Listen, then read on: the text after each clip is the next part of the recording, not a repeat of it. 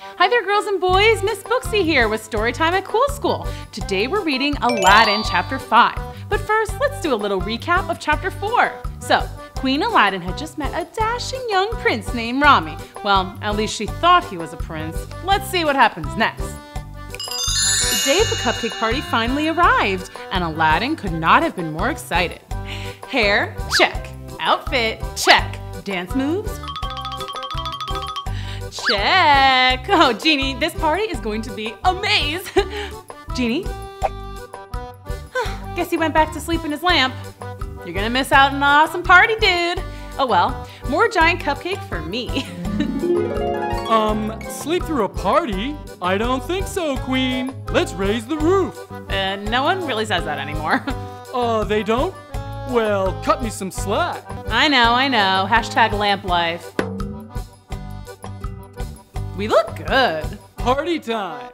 So yeah, Aladdin and Genie were pretty jazzed about the party. Rami was less excited. Well, he was excited to see Aladdin and excited to eat a giant cupcake, but he was not so excited about having to steal a lamp. Well, not steal. Return it to its rightful owner. That is, if Mustapha's telling me the truth. But how do I know I can trust him? Aladdin seems so nice. Okay, get it together. Deep breath, Rami. Relax. Hey! Hi. So, Um. Wanna brace check out the flowers. sweet. Thank you for the flowers. Let's go check out the cupcake. Whoa, it's so big. Told ya, we're making the biggest cupcake in the history of cupcakes. Are you going to drink the world's largest glass of milk to wash it down? Ooh, that's a good idea. I like the way you think. Aladdin and Rami talked and danced and, of course, ate like a gajillion bites of giant cupcake throughout the night.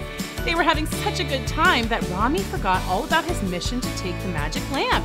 Mustapha, on the other hand, had not forgotten. So I said to the baker, What do you mean you don't have giant sprinkles? You can't have a giant cupcake without giant sprinkles. I mean, that's Cupcakes 101. Huh?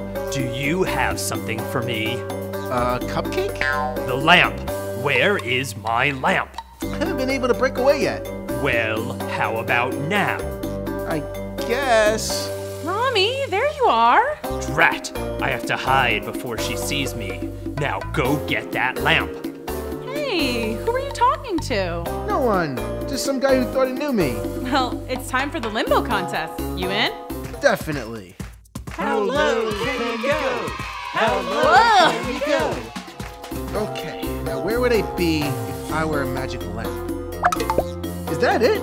Nah, it doesn't look magical. But then again, what do I know about magic lamps? Rami, what are you doing in here?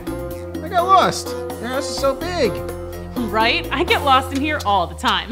Come back outside because we're about to light the giant cupcake candles. Spoiler alert, they're actually fireworks. Do you like fireworks? I love fireworks. Rami decided to give up looking for the lamp and followed Aladdin outside.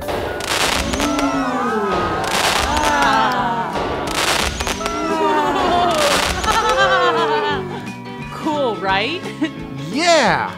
Do you do stuff like this at your palace? My what? You're you're a prince, right? Don't you live in a palace? Oh, right. Yeah, of course. Um, yeah, we do stuff like this all the time. Oops, Rami had almost forgotten that he was supposed to be a prince. It was hard work pretending to be something that you're not. Little did Rami know that Aladdin was playing pretend too. But neither of them had to pretend to be having a good time. That part came naturally. They even agreed to hang out again on the very next day. Aladdin was so excited she ran to find the genie to tell him everything. hey, genie, It's gone. what's gone? The lamp. So, uh, basically my house and my entire identity. It's gone. All gone. What? Uh oh, kids, what do you think happened? Rami didn't take the lamp, so who did? Wait a second.